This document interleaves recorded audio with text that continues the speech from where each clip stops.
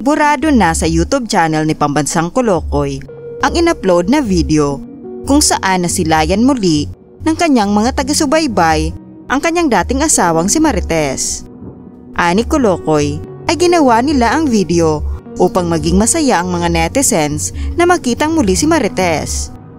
Pakiusap pa ni Pambansang Kolokoy ay sana ay i-enjoy na lamang ang mga ginagawa niyang video at huwag nang panghimasukan pa ang kanilang pribadong buhay. Dagdag pa niya sa mga nagsasabi umano na mag-a-unsubscribe sila dahil sa hindi na nila nakikita si Marites sa kanyang mga videos, aniya ay hindi niya umano mapipigilan ang kanilang desisyon. Samantala, isa pang video ang na-upload sa kanyang YouTube channel kung saan makikita ang koleksyon ng mga alaala na pinagsamahan nila ni Marites. Ani sa titulo ng video, To all the fans of Marites, here's the last look.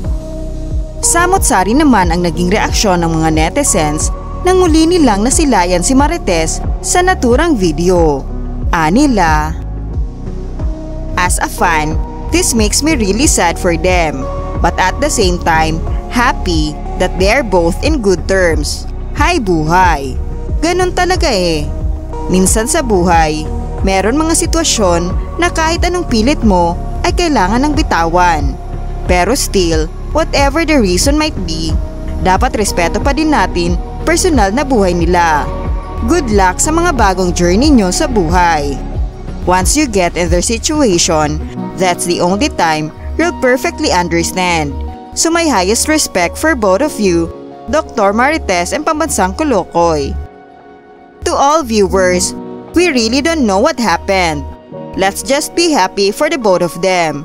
I wish the best for you Kuya Kolokoy at Ate Marites. Brings me to tears. Whatever your decision is, I'm praying for both of you. Thank you for uploading this video. It gives some of your fans some closure. Something to let us know where the end was, at least in your YouTube world. We don't know what happened in real life, and that's not any of our business. I wish you both the best in life. Thank you for making us laugh and bringing us joy through your videos. God bless you both and your kids. Ito yata ang inaabangan ng mga Marites fans. Whatever was the reason, we respect your private life. I wish you both happiness moving forward. God bless you both. Closure. This is what we all needed to see. But I am so affected and it's so sad. It's the beginning of something new for both of you. Still here to see your videos. It's amazing how your story can touch so many lives.